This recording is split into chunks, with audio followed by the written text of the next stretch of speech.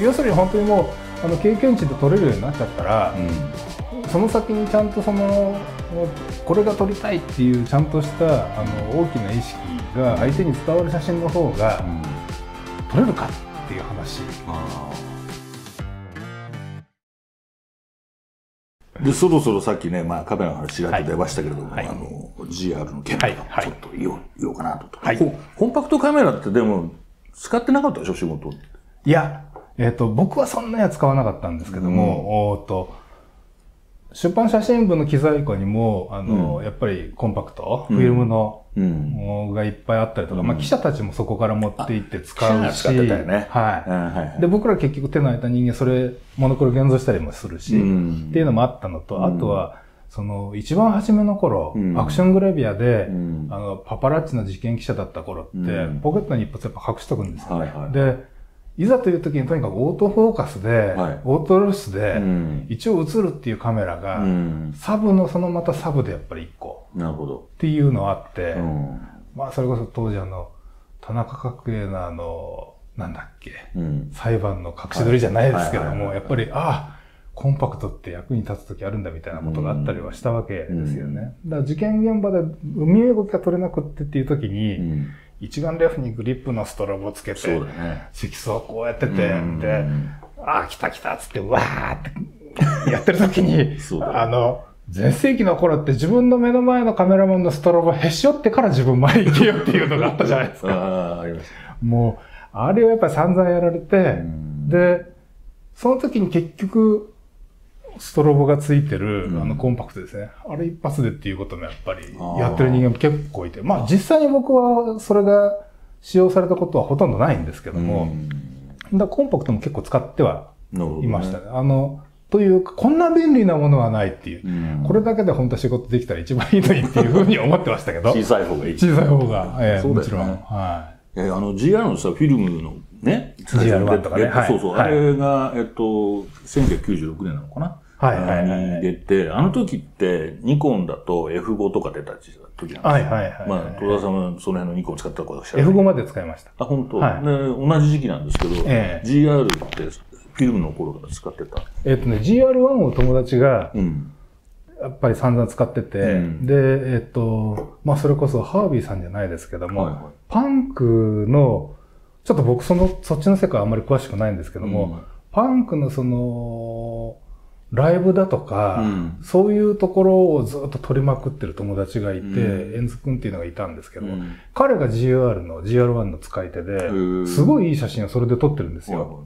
で、僕もサブで欲しいなとは思ってたんですが、結局、えっと、F5 まで使ってて、その後フリーランスになって、実際の仕事では、えっと、大型カメラの方に僕行っちゃうんですよね。シノとか売店とかね。はいだから結局、直接その GR1 を,、を使うのってもっとずっとの後になって。か。ら。え。え、当時その出たばっかりの頃は全然羨ましいなと思ったけど使わなかったんですね。でもその後でも改良されて S だの V だのって出てくるんだけど、えっ、とね、どの辺から？えっ、とね、切り替えができるパノラマになるやつ何でしたっけ？安いやつ。ああ、えっと、GR じゃないやつ？あ、えっと、GR10? GR10 かななんかね、形は GR なんですけど、うん、切り替えでパノラマのワイドになるやつがあるんですよ。上下ただパカってやってワイドになるやつなんですけど。あれ本当あの、ね、ウソッコのあれじゃん。そうそうそうそう、ウソッコのやつ。で、あれは買いましたね。あ、本当？ええ、そう、GR ってのあったかな？なんつったっけかな、あれ。うち帰ってすみません。スタッフの人は困ってるじゃないですか。まあ、かより、あの、まあ、真面目な写真家は、あの、えー、ね、うん、カメラの名前は覚えてないと。すいません。あ、いいんだけど。まず、じゃあまあ、ほとんどそれで、はい、はい、あの、何？最初に何？パノラマ作ったわけじゃないでしょ？パノラマ作らなかったですけど、ね、うん、まあ結局その、おコンパクトで、うん、とにかく押せば映る、うん、っていう、一番その荷物にならないものが欲しくって、はいはい、で、それでその、おバノラム切り替えのやつがついてるやつはしばらく使ってましたね。うん、で、えっ、ー、と、当時、えっと、97年に僕、ドイフォトで写真展をやってるんですけども、おシノゴで、その、まあ、街中であの、ちょっとファッションにこだわった女性たちばっかりに声かけて撮ったポートレートを取ったんですけど、うん、その時の、えっと、死の子を抱えてると他にもうそれ以上機材は無理じゃないですか。あそうだね。で、その時にポケットに入ったのがそれですね。ああ。だ抑えはそれで取ったんですね。なるほど。やっぱりじゃあまあその頃はまだサブカメラというか、ですね、メモ代わりとはい、はい。まあでも撮れるってことは重要だからね、やっぱもうそれは絶対です。しかも、とにかく、フルオートで全部綺麗に撮れるっていう。うはい。そうだよね。ええまあ、いざとればマニュアルでいきますけど。うん、でも両方できるのがね。ええいいもんね。はい。それは使ってましたね。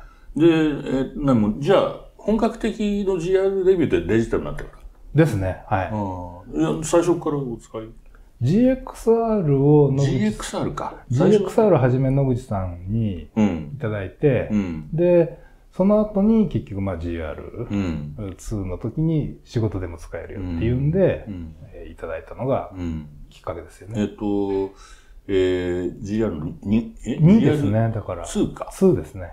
2というのは ?APS-C になってから一番初めのやつ。あ、え、結構後なの、ね、割と、割と後になってからですね。ああ、そうか、そうか。APS-C になってからのやつって、新潟ってあの、Wi-Fi かじゃなくて、なんか。あれがまずついてない一番初めのやつは。あ、そうそうそう。一番最初のやつ一番初めのやつはついてなくて、うん、次のやつが Wi-Fi がついてですかね。ついてるのかな。はい。じゃあ、最初の、なんていうの ?GR。APS-C になって最初の GR。が、えっと。が一番メインで使ってああ、そうなんだ。はい。その時って、どういう印象でした？いや、やっぱり便利でいいなと思いました。いや、こんな映る、こんな映るの他のカメラいらないじゃんっていう。ああ、やっぱそこまで思っちゃう。今も思ってますけど、うん、これは、あの、本当一回使い出すと、うん、他のカメラを使う意味がなくなってしまうので。ぐらいの。すごいね。うん、極端じゃない？それ。いや、もう今これだけです。本当に。本当に？本当こればっかりですよ。えー、いや、びっくりしちゃいますね、でもね。でも28ミリの例えば四角みたいなどうなんですか？僕は28ミリはすごい性に合うんで。あ、そうなんだ。はい。あの、週刊誌の育ち、生まれ育ちの人っていうのは、うん、多分28が一番相性がいいんですよ。まあ、それこそその新宿とかで渡辺さんとか撮ってるやつとかもそうでも、みんな28じゃないですか。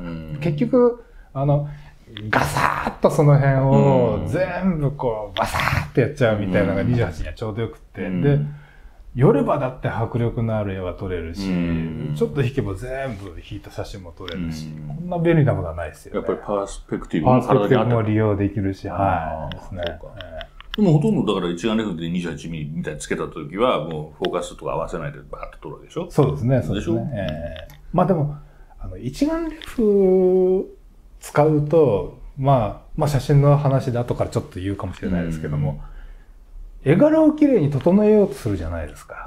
で、そこにはやっぱり一眼レフの方が結局覗いたままだから撮れますよね。でそうすると、ワイドっていうよりも、結局、一眼レフで使うのって標準以上望遠側の方が多いじゃないですか。その方が一眼レフ使う意味が出ますよね。だから、雑誌ごとなんかでまあ、ポートレートとかインタビューとかね、とかで一眼レフは使いますけども、そうじゃない時はもう別に一眼レフでワイドレンズつける必要もあんまり意味がないんじゃないのっていう気がして。で、あの、他の、まあ当時あの、M5 とかにもやっぱり28とか。ライカのね。うん。つけて、で、ビューファインダーつけて、うん、で、それでパカパカこうやるっていうのが流行ってたりした時代があって、やっぱあの頃見てたんで、うん、やっぱり28一つでこう、一つのテーマを追っかけるみたいな。え、その頃はほら、ライカとか使ってないあれですよ。一番初め僕使ったライツミノルタ CL ですよ。ああ、そうなん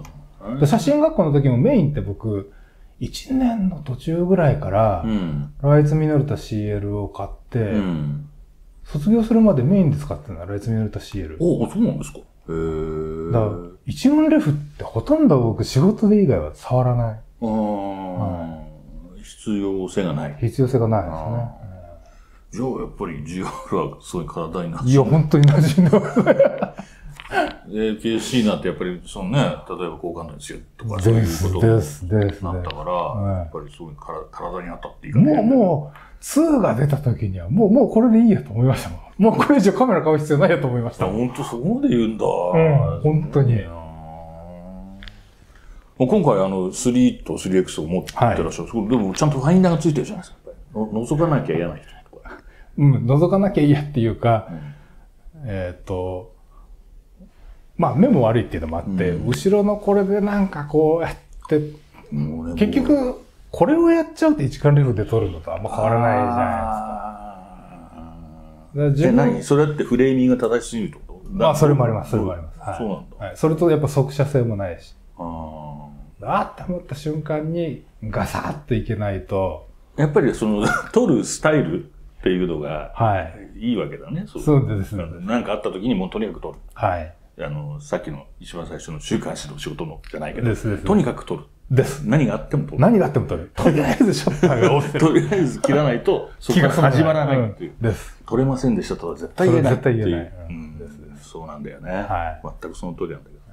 ってことはやっぱりその GR の小ささと28の画角、うん、まあ、あと画質、っていうか、じゃあ、本当使い手としては、小沢さんって本当にすごい。これ一つあったらもうそれでいいんですよ、僕。あ、本当？ねえ。問題はこっちにね、40とかいうのが出てきちゃうから始末言われる始末悪いんですか？いや、3X だってちゃんと使ってるじゃないですか、だって。え、40がいいって言ってなかった ?40 大好きです。だから、一番初めが。話が違うじゃないか。ライツになれた CL についてるの40じゃないですか。まあそうですね。だから結局、学生の時金がなかったから、41本だけですよ。基本的に3年間ほとんど40名で過ごしたわけですよ。なるほど。すべての写真40ほとんど40ですね。あ それもまた、だよね、徹底してるっていうか。まあだって、35と50と両方のいいとこ取りできて、コンパクトで、はいはい、そりゃもうこんな便利なもんないわけですよね。いや、そうだけど、じゃあ、じゃあ28があって、もうこれでいいと思ってたのに、そう、28だけあればいいと思ってたのに、3X が出たら何？こんなの出ちゃうから、だから、忘れてた学生の頃の、こう、ちょっと距離感の違うのとか、うん、あの、冷めた距離感のやつとか、あんなのが取れるようになっちゃって。いや、そっちまた入れ出すとまたどうなんだろう？画角なんだろうとか、例えば、まあ、深度がちょっと浅いとか、あるじゃん。はいはいはいはい。やっぱりその、さっき見たものをバシャって撮るっていうのと、はいはいはい、40ミリは少し狭いわけだからさ、はいはいはい、そうするとなんかなんていうの、違うスタンスにならないのこうなりますよ、なりますよ。だ結局28だと、もう、自分の体の本当に延長線っていうか、体の延長線が28ですよね。なるほど。脳みそ使ってないわけですよね。うん、もう体が勝手にバーッと取っちゃう。あ、取るわけね。っていう感じですね。うん、40になるとそうはいかないので、はい、40は一応のない頭なんだけども、頭が撮ってる写真になっちゃうんですよ。ちょっと引いてるから、ピンも結局はやっぱり合う場所と合わない場所と出てくるわけですよね。だから、主要な見せたいところはどこで、背景はサブなのは何の意味があるのかとか、一応こう、おつむが考えてからシャッターを押すのが47。だから少し整えちゃってるじゃん。そう、だそこなんですよ。だから、こういう余計なことしてくると、もうせっかく28一本で、すべて片付いてて、もうこれで俺の世界できたからいいやとか思ってたのに、うんプラスアルファの表現また思い出しちゃうわけ？みたいなのがあって。でもさ、なんていうかこう、いつものやつになっちゃうのって、あ、なんか嫌って思う時あるでしょありますよ、あります。そこそこなんか、と、整えちゃうっていうか、ほら、自然に画角がさ、頭に入ってるから、ファインダーなんかみんな、見えなくてもでき るんですけど、うん、脳がいいんですよ。脳がいいんいや、僕適当適当にやって、撮って、全然もう、OK だから、はい、なんてやんな30年も40年もやってると大体は、ね、まあ、28ミリ一筋みたいなやってると。でも、一つのやっぱり基準があるからでしょ、やっぱり。ええですですで、そこで違う画角があって、はい、出てきたから、こう、なんていうの。違う、違う写真が撮れるんじゃないかみたいな希望というか、ね。いや、だから、ね、あの、要求。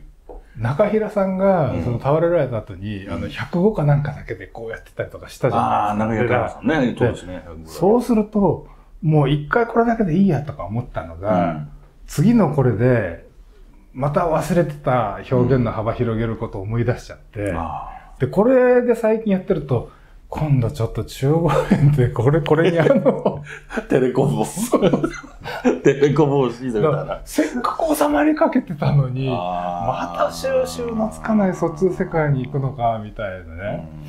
それが楽しいんだか、苦痛なんだかよくわかんないみたいな、ね。変なこと思いしちゃったんだけど、なんか藤原信也さんがカメラ雑誌に、ええ、あの交換レンズは増えるのはなんか贅肉だみたいなことが書いてあって、だから、やっぱりあんまりコロコロ誤解だ。俺なんかいっぱいレンズがあるからやっぱり銭が増えたのかなと思 ういやいやいや、だからなんかそういうさ、いい表現だなと思ってて。うん。えっとね、まあ、写真の結局は表現の話になっちゃうとあれなんですけども、うん、あの、やっぱりそのさっき言った28ミリって、うん、その身体感覚そのままでガサっていうあれじゃないですか。で、こっちになるとそのおつむがちょっと、焦点距離が長くなるほど、やっぱりおつむ使わないといけなくなるわけですよね。だからその、そうするとその分身体感覚はやっぱりちょっと薄れるわけじゃないですか。で、やっぱその、写真のやっぱりその、いいところって、その、もちろんその、出来上がりの絵が美しくなければいけないのはあると思うので、写真的美学上に、あの、OK が出てるレベルではいけないとは思うんですけども、でも僕の個人としてのやっぱり好きなのっていうのは、やっぱりその、取り手のその、肉感ですよね、うん、身体感覚が、こう、やっぱ盛り込まれた写真が好きなんですよね。なるほど。で、そうするとやっぱりその割とワイドでできた写真の方が好きは好きっていうのはあるんですよね。うん、で、それを、じゃあ、その長玉の方に行くと、じゃあそれが、まあいろんなレンズを使うっていうのが、その贅肉化っていうと、一概そうも言えないなっていう、その、やっぱりその、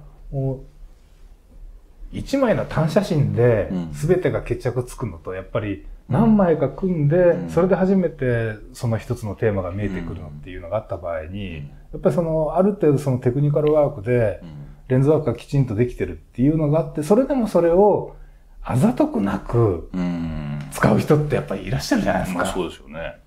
で、それがやっぱり僕なんかどちらかというと、できなくって、もう、あの、一番ワイドで、その、肉薄することだけでしか、その、肉感を伝えられないんで、これ一本になるんですけども。だから、あの、藤原さんも、どちらかというと、あの、あんまり長玉とかね、あの、荷物も重いと結局、あの、行動力がなくなるとダメになっちゃうような旅の写真が多かったから、そういうふうな言い方をしてるんだと思うんですけども。まあでも、まあそれが贅肉っていうのもまあ極端なね 言い方ではあると思うんですけどね。うん。えー、そっか、でもやっぱりそういった意味で物の見方が変わるっていうのはありますよね。うんうん、ありますね。それはかなりありますよね。あれでも、戸澤さんは何？仕事の時とかズームレンズとか使わないいや、仕事の時はズームレンズしか使いません。逆に。え、そうだったの？です。ああ、やっぱそうなんだ。ええまあ、えっ、ー、と、週刊朝日の専属の頃なんかは当然まだフィルムの初期の時代ですよね。うん、その頃はもう20、24、35、50、55マクロ、105、180ですよね。うん、それにテレコンですよね。うん、で、F2 があってみたいな時代でしたけど、それが35、70になり、24、50になり、そしてついには24、70が出て、でもう一回そこまで行っちゃったら、もう大三元、24、16、35、24、70、70、200、ですよね。また標準だけ。ね。お仕事の時ね、やっぱり後で言われるんですよ。あの結構こう、いうのはないのかとかって言われてね。言われます、言われます。仕事はしょうがないですよね。で、そういった意味ではね。じゃあ、でも GR は、でもデータになった頃でも仕事でも使ったりはしたの？しない？自分の？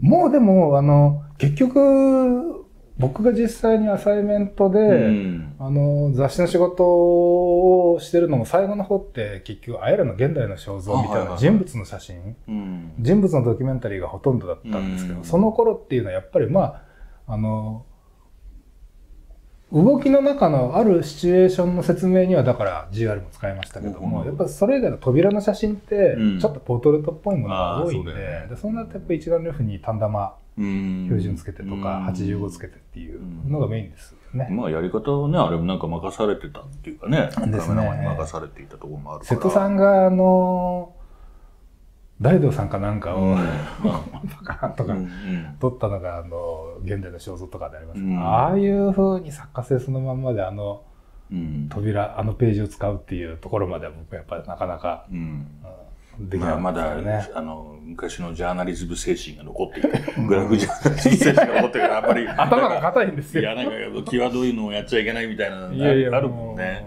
頭硬いんで。ですね。今、でも、なんていうの、二台持ち。はい。僕もこう二台持ち、こうしてんだけど。いい、いいケースに入った。いいケースに入ってますけどね。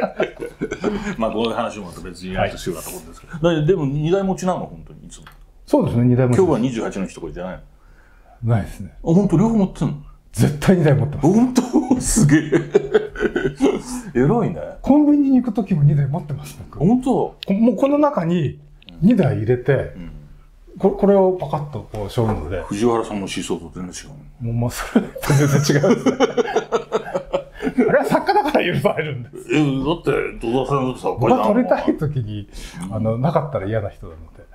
まあ、そうだよね。えー、もうそれはしょうがないです。カメラね、カメラないと、ただ,、ただの、まあ、いや、やめ。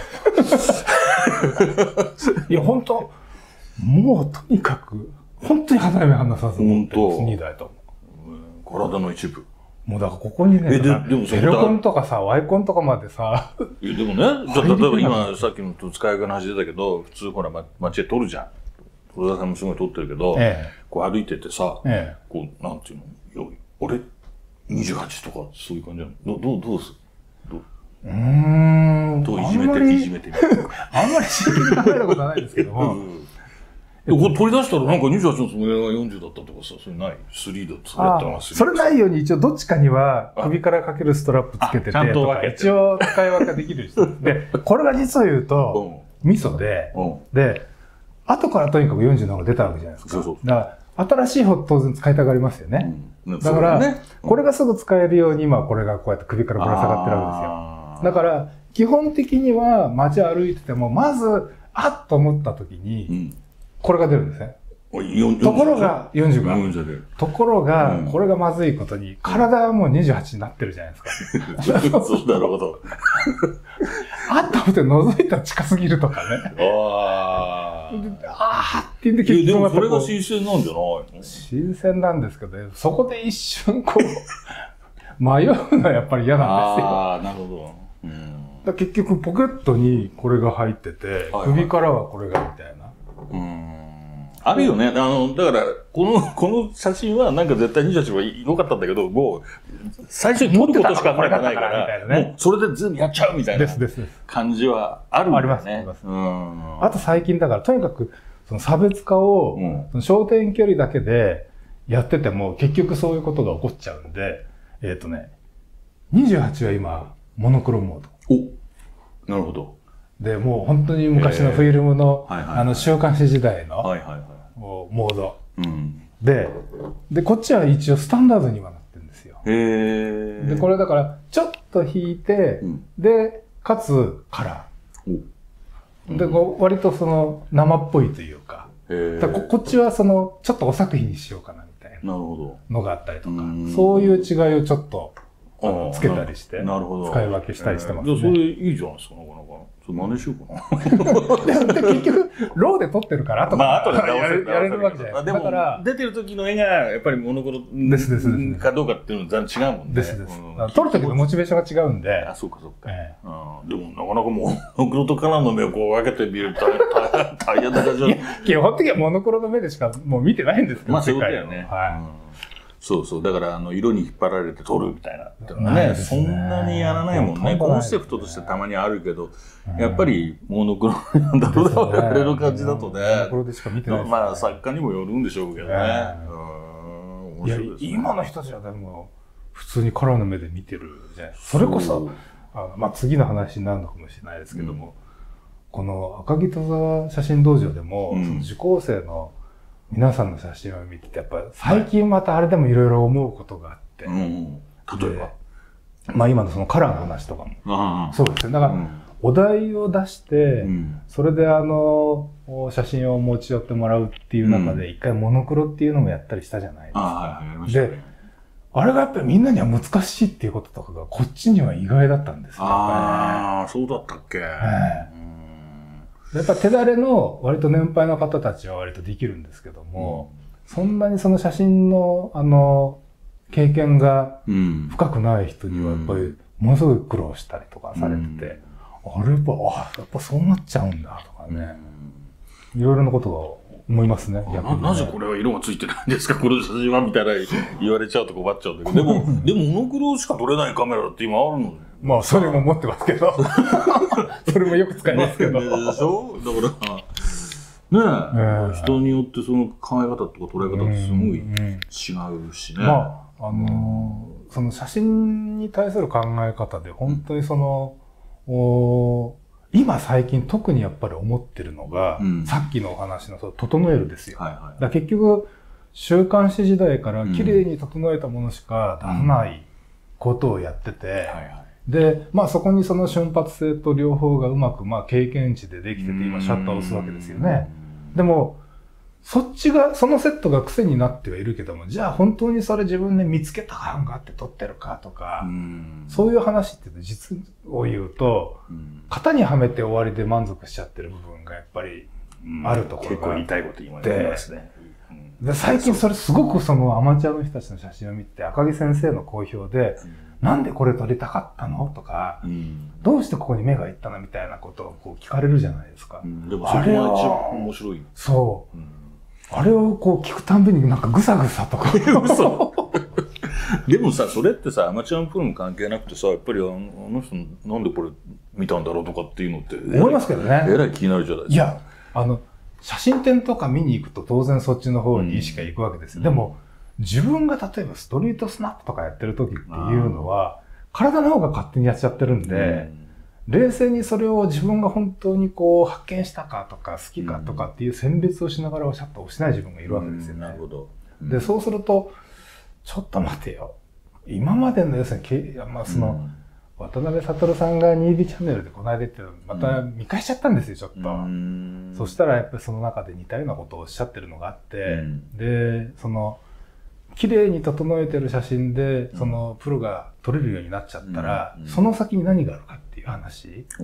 で、渡辺悟さんも、いや、自分にその先がないと思っちゃったみたいなことをおっしゃってるところを見ちゃったんですけど、僕もまさにそれがそうで、で、それってすごい名人級の話じゃないの？いやいやというか、もう、行き着くとこまで行ってよ。いや、そういう話じゃなくて。その、違うの。そういう話じゃなくて。違うの。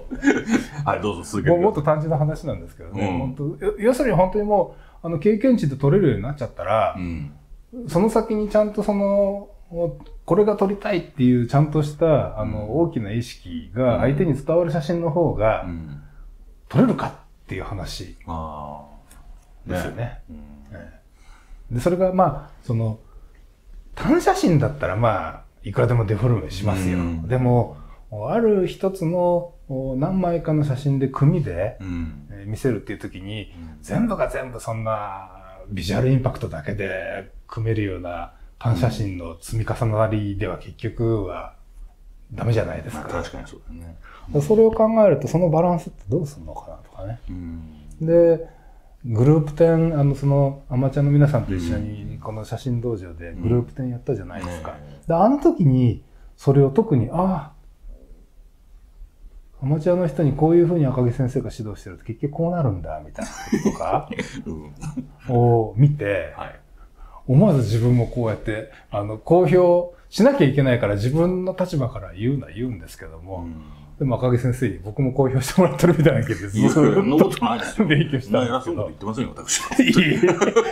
偉そうなことじゃなくて、写真のだから本当根源的な話ですよね。うん、まあでも基本的にはほら、あの、あちらの方は楽しんでいただくのが一番なので、でも、うん、まあ、そこでだから、その、楽しんでいただく、写真は楽しいものだっていうことを軸に、うん、でも、それがあなたのその心の中からこう湧いてきたもので表現として写真っていう道具ってこう使ったらもっと面白いことができますよっていうことをうまく誘導すられるじゃないですか。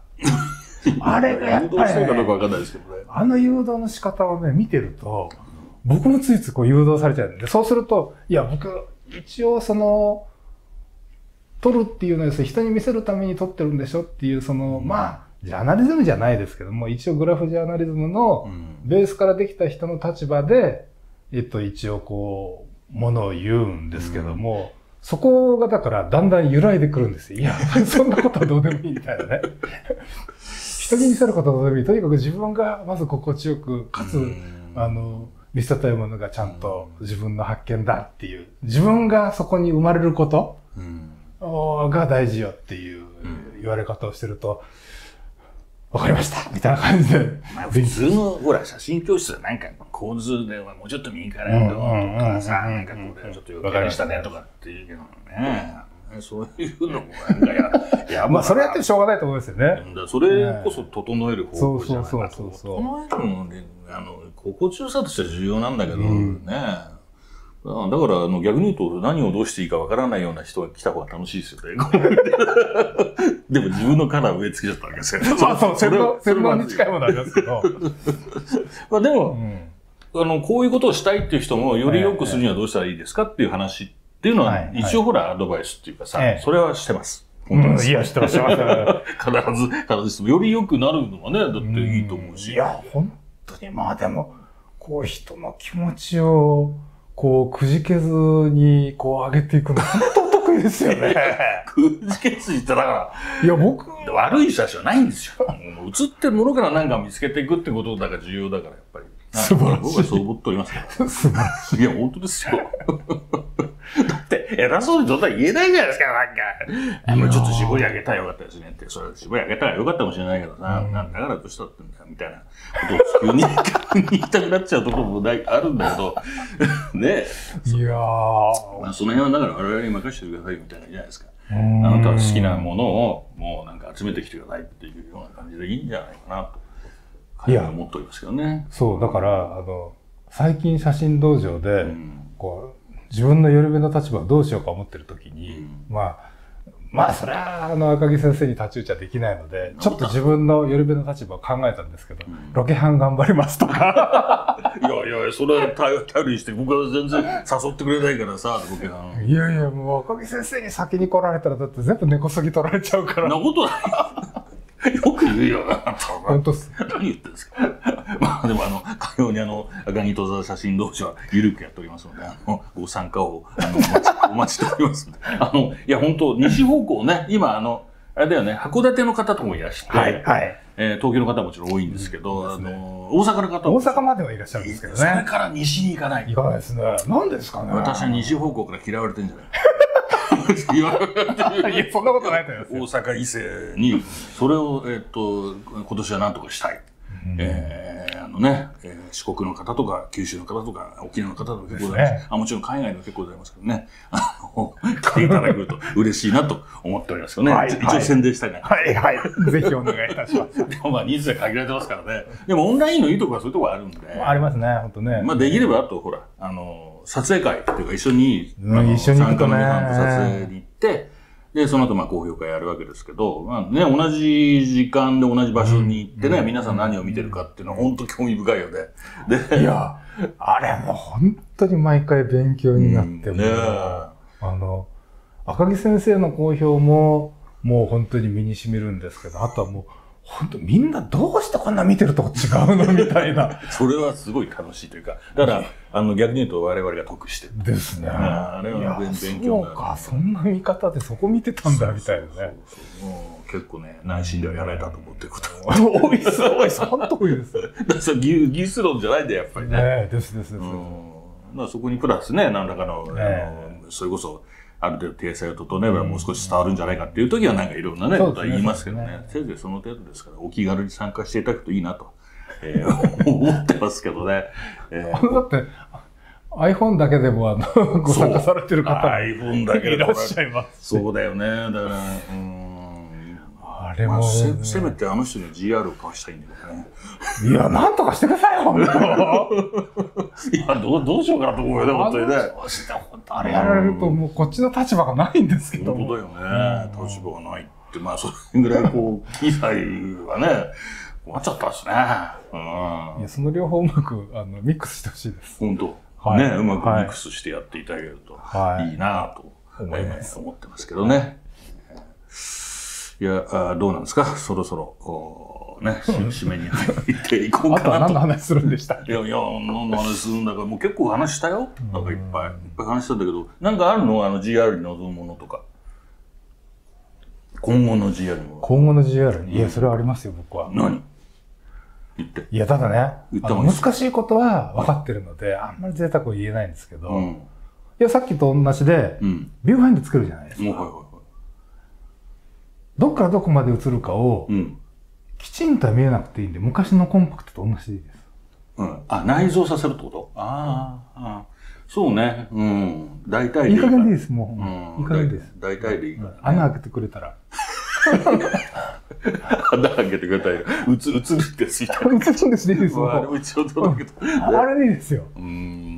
まあ、見当をつけたいっていうかね、ここに外につけないで、もう、中の内臓で。これはこれで格好もいいからいいんですけど、そうね、いざとなると引っかかる時があるんで。あ、そうだね。うん。そう。やっぱ、まあ、内臓、この、この四角の中に、一個ちょっと穴開けていただければ、すごい助かるかなっていう。なるほどね。はい。よろしくお願いします。ほとんどハイウェイで撮るんだけど、たまに覗きたい時があるっていうのは僕もある。いや、僕はもう、覗かないとなんか撮った気がしないんですよ、ね。やっぱね。それがカメラであるって。いやいや iPhone に対抗できるのはそれだみたいな。いやいやいや、なんか、そういうのって、僕は俺よく書くよ、あれ、カメラファインダーであるみたいな。ちょだってあの、僕はそのご主じゃないですか、GR が褒めてるじゃないですか。それはそれで、話は別別ということでございましてですね。うん、あの、一眼レフはいいんですよ。はい。一眼レフは当然、あの、覗いた感じが、かなりくっきりと、いい感じに見えないと気分が当然悪いんですけども、うん、それは覗いたの重視なんですけど、うん、こう、やっぱりこう、まあ、レンジファインダー型というか、うん、コンパクト系のやつで、当たりだけでいいからみたいな。そうね。うん、これでできる写真の、その自分の、きっちりとした自分の思惑以外のものがちゃんと写ってくれてることで、うん、あの、成立することの世界をこう、自分の思った通りにしないで、あの、世界そのものの方が入ってくることを受容するみたいな気分がある。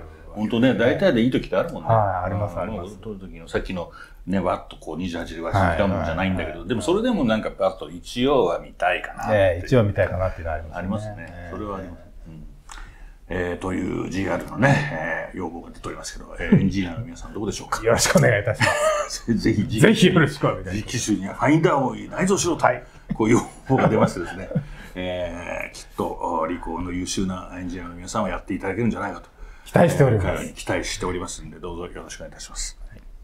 ね、それであの、もうお時間も参りましたので、はい、この辺でですね、はい、えー、GRTV でね、えー、4回目でございますか。はい。えー、終わりにしたいと思います。えー、ゲストは、あ戸沢裕二先生でございまして、えー、写真家でございます。えー、赤に戸沢写真道場の方ですね、ぜひ一つ、よろしく。よろしくお願いします。はい。えー、おしまいにしたいと思います。はい。ありがとうございました。ありがとうございました。